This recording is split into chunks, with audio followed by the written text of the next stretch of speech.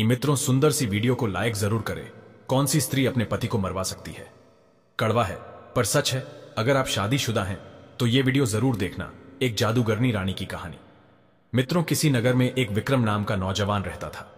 विक्रम बहुत ही ईमानदार और सीधा सज्जन व्यक्ति था, लेकिन उसके पास इतना धन नहीं था, जो अपनी ज़िंदगी ठीक से चला पाता। इसलिए वो मन ही मन कुछ दुखी सा रहता था। एक दिन उसके मित्र ने उसे राजा के दरबार में जाने की सलाह दी। विक्रम राज दरबार में पहुँचा और राजा से अपने लिए काम मांगा। राजा ने भी उसकी बुद्धिमत्ता को देखकर उसे अपने यहाँ नौकरी पर रख लिया। विक्रम सिंह ने बहुत ही कम समय में कुछ अच्छे अच्छे काम करके राजा के दिल को जीत लिया। ही राजा सरवण सिंह ने उसके काम से प्रसन्न होकर उसका वेतन भी बढ़ा दिया। विक्रम सिंह की आर्थिक स्थिति जल्दी ही सुधर गई। एक जादूगर की शिष्या कनका नाम की लड़की से उसका विवाह हो गया। कनका जादू करने में बड़ी माहिर थी। उसने अपने गुरु से कई प्रकार की विद्याओं को सीखा था। एक दिन विक्रम सिंह को पता चला कि उसकी पत्नी जादूगरनी है। वो पूरे दिन घर में तंत्र मंत्र ओम जाप करती रहती थी। तो यह देखकर विक्रम सिंह सन्न रह गया। वो एकदम से भयभीत हो गया। कनका ने अपने पति को समझाया कि देखो, घबराने की कोई बात नहीं है। मैं यह काम किसी को हानि पहुँचाने के उद्देश्य से नहीं करती हूँ, बल्कि मैं अपने जादू का प्रयोग हमेशा दुष्टों को सजा देने के लिए करती हूँ। मैं तुम्हें एक राज की बात बताती हूँ। तुम जिस राजा के यहाँ नौकरी करते हो, उसकी रानी भी जादूगरनी है। मगर उसने यह बात अपने पति को नहीं बताई है, क्योंकि उसके मन में कपट भरा है। वो राजा से सिर्फ़ बनावटी प्रेम करती है। उसकी नज़र राजा साहब के राज्य पर है। वो उनसे उनका राज्य छीन कर किसी और को देना चाहती है। और हो सकता है कि वो इसके लिए अपने पति की हत्या तक करवा दे, क्योंकि कहते हैं, दूसरे पुरुष के प्रेम में पागल काम वासना में अंधी और लोभ के वशीभूत रहने वाली स्त्री अपने कुल का विनाश भी देख सकती है। राजा सरवण की रानी का प्रेम पहाड़ों पर रहने वाले एक जादूगर से था, और वो रोज रात को उससे मिलने जाती थी। राजा साहब उसकी इस हरकत से अब तक अनजान थे। विक्रम सिंह कहने लगा, प्रिय, रानी के बारे में तुम इतना कैसे जानती हो? तब कनका कहती हैं, हे प्राणनाथ, जितनी विद्या रानी जानती है, उतनी ही मैं भी जानती हूँ। मैंने अपने जादू से ही इस बात का पता लगाया है कि रानी राजा से झूठा प्रेम करती है। विक्रम सिंह पूछने लगा कि आप कहती हो रानी रोज अपने आशिक से मिलने जाती है, जो पहाड़ों पर रहता है। पर पहाड़ तो यहाँ से चार सौ कोस दूर है।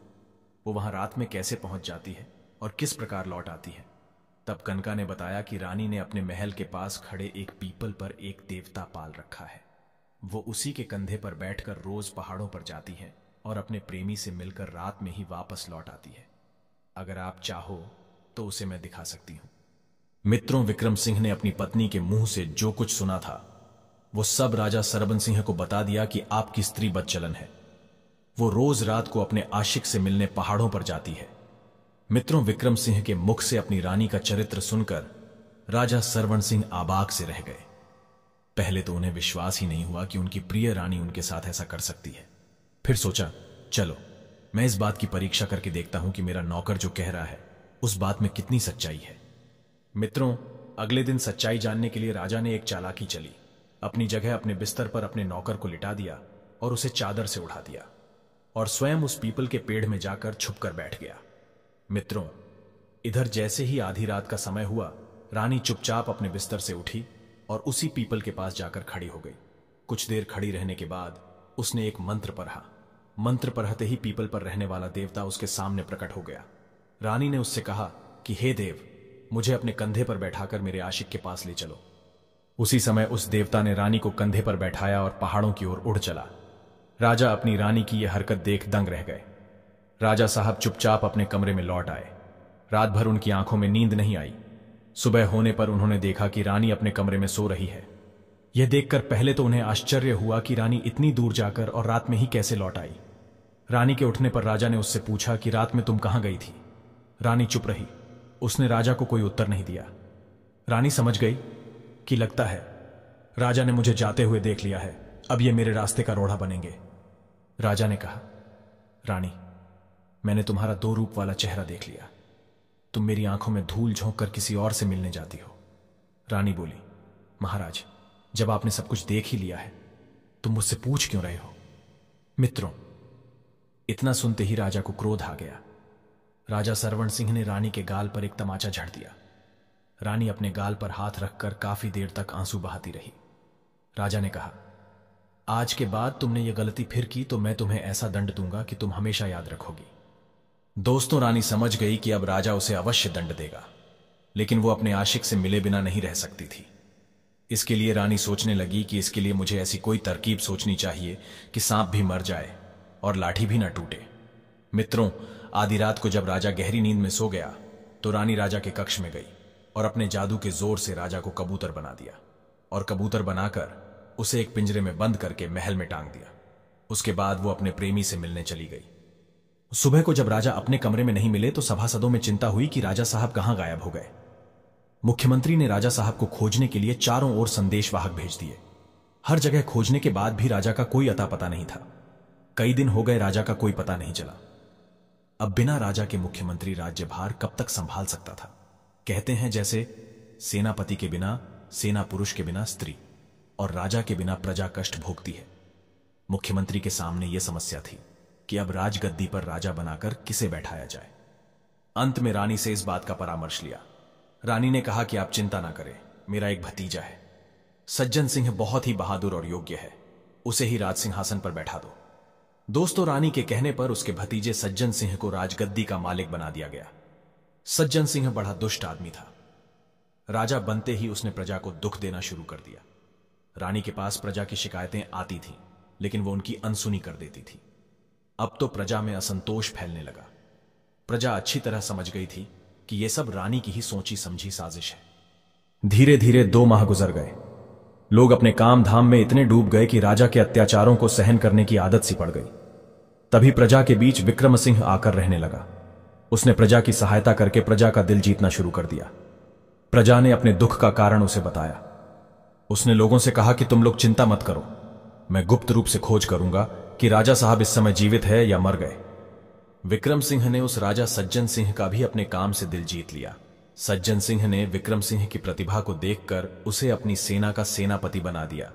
कहते हैं, उन दिनों यह पद बड़ी ही प्रतिष्ठा का पद माना जाता था।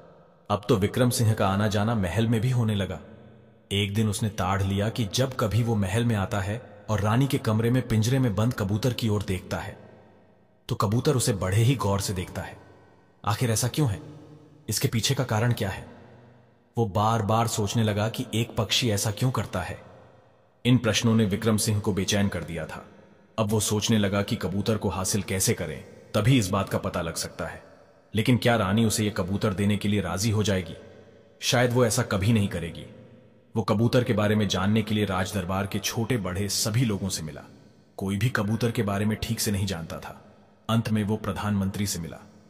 प्रधानमंत्री ने भी बताया कि ये तो मैं भी नहीं जानता हूँ कि कबूतर को राजमहल में कौन लाया है। पर इतना मालूम है कि रानी साहिबा राजा की तरह इस कबूतर के प्राण ठिकाने रखती है। वो इस कबूतर को किसी भी कीमत पर किसी दूसरे को देने को तैयार नहीं होंगी। इसलिए मेरी बात मानो और कबूतर को प्राप्त करने का विचार मन से निकाल दो। प्रधानमंत्री के शब्दों ने विक्रम सिंह की शंका को और बढ़ा दिया। वो समझ गया कि कबूतर किसी विशेष रहस्य को छुपाए हुए है। अतः उसने मन ही मन प्रतिज्ञा की कि मैं इस कबूतर को प्राप्त करके ही दम लूँगा। दोस्तों, संयोग से दूसरे दिन पड़ोसी राजा ने सज्जन सिंह के नगर पर चढ़ाई कर दी। राज्य के मंत्रियों, सैनिकों और सेना नायकों ने बड़ी वीरता के साथ शत्रुओं का सामना किया। लेकिन विक्रम सिंह ने ऐसी वीरता और पराक्रम दिखाया कि शत्रु सेना मैदान छोड़कर भाग खड़ी हुई। विक्रम सिंह ने शत्रु राजा को पकड़ लिया, फिर उसे नए राजा के सामने पेश कर दिया। नए राजा ने अपने मंत्रिपरिषद से परामर्श लिया कि शत्रु के साथ कैसा व्यवहार किया जाए। राजा की पत्नी, जो एक जादूगरनी थी, और नए राजा की बुआ थी, वो कहने लगी, विक्रम सिंह, इस शत्रु को तो हम जो कुछ सजा देंगे, उसे सारी प्रजा देखेगी, मगर हम तुमसे बहुत खुश है। तुमने अपनी वीरता से हमारे राज्य की रक्षा की है। हम तुम्हें मुँह मांगा इनाम देना चाहते हैं। बोलो, तुम्हें क्या चाहिए? विक्रम सिंह ने रानी से कहा, यदि आप कॉल की पक्की हैं तो सोने का पिंजरा, जिसमें वो कबूतर बंद है, वो मुझे दे दीजिए।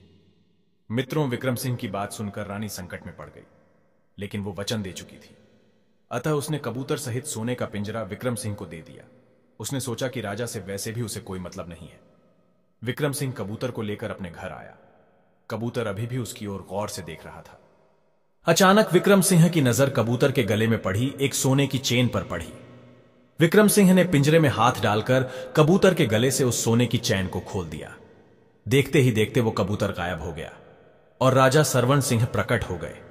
तब राजा ने बताया कि मेरी रानी ने ही मुझे कबूतर बनाया है और इस समय जो राजा है, ये मेरी रानी का भतीजा है।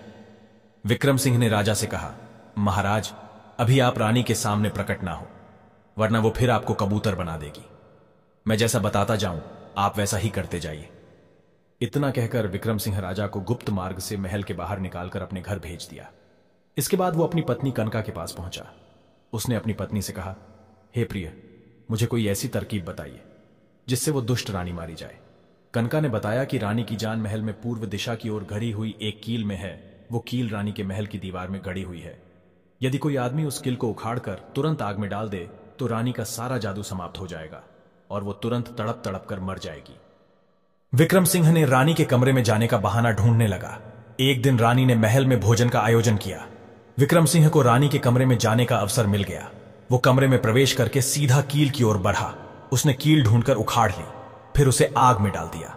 देखते ही देखते रानी तड़प तड़प कर मर गई। दूसरे दिन राजा ने विक्रम सिंह की सहायता से नए राजा को भी मारकर भगा दिया। अचानक ये परिवर्तन देखकर प्रजा की खुशी का ठिकाना नहीं रहा। अत्याचारी राजा और रानी का अंत देखकर लोगों ने जगह जगह उत्सव मनाया। जब राजा सब तरफ़ से निश्चिंत हो गए तो उन्होंने विक्रम सिंह का सार्वजनिक अभिनंदन किया और विक्रम सिंह राजा से विदा लेकर अपने नगर को चला आया। दोस्तों कहते हैं कि जिस स्त्री का पर पुरुष से प्रेम संबंध हो, वो अपने पति को कभी भी मरवा सकती है। जिस स्त्री के मन में अत्यधिक लालच हो और उसका पति उसके बीच की बाधा हो तो वो अपने पति को हानि पहुँचा सकती है। जिस स्त्री के गुप्त रहस्य हो, यदि पति जानता है। और उसे अपने पकड़े जाने का भय हो तो ऐसे में भी वो अपने पति का अहित कर सकती है। दोस्तों, उम्मीद करता हूँ कहानी अच्छी लगी होगी। तो चलिए, मिलते हैं अगली वीडियो में एक और चर्चा के साथ। आप सभी का बहुत बहुत धन्यवाद। जय श्री कृष्णा।